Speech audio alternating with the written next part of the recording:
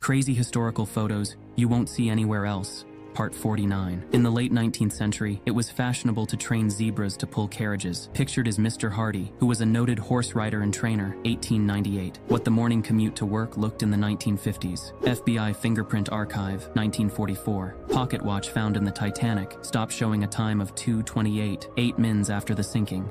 Cindy Crawford and Claudia Schiffer, 1990s. The SS Princess May was a steamship built in 1888. The ship is best known for grounding in 1910, which left the ship sticking completely out of the water. Admiral William H.P. Blandy and his wife cut into a mushroom cloud cake, celebrating the 1946 atomic tests on Bikini Atoll. Neil Armstrong's family watching him launch to the moon. 1969. A man and woman react to the air blowing at them on top of the Empire State Building in NYC, US in 1942. The real Mrs. Fields, founder of the Mrs. Fields Cookie Company, 1982.